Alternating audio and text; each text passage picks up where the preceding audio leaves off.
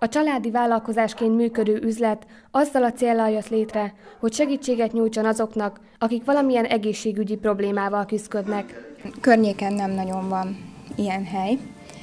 A helyünk az adott volt, évek óta azon gondolkoztunk, hogy mi az, amivel bővíthetnénk a vállalkozást és igazából ez mellett döntöttünk, hiszen teljes egészében egy egész családnak tud ez megoldást nyújtani különböző problémákra, különböző betegségekre, illetve egy nagyon jó időtöltés akár az egész család számára. 8 tonna só található a barlangban, osztrák porsó, Himalája sótégla és parajdi só van vegyesen a falakon, a mennyezeten és a padlón is.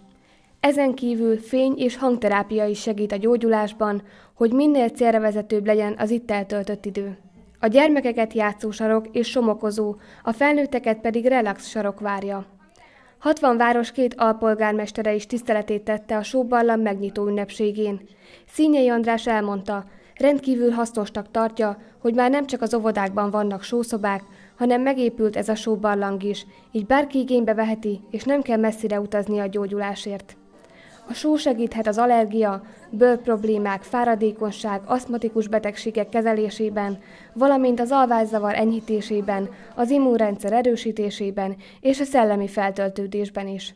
A só egy nagyon jótékony hatású anyag, ami a nyálkahártyáknak a megtisztulásában játszik, illetve fertőtlenítésében nagyon fontos szerepet. Napjainkban egyre több sajnos a légzőszervi betegségben szenvedő gyermek, illetve felnőtt, úgyhogy nagyon örülünk ennek a kezdeményezésnek. 60 kártyával kedvezményesen vehetik igénybe a szolgáltatást azok, akik ellátogatnak a hegyaljasó barlangba.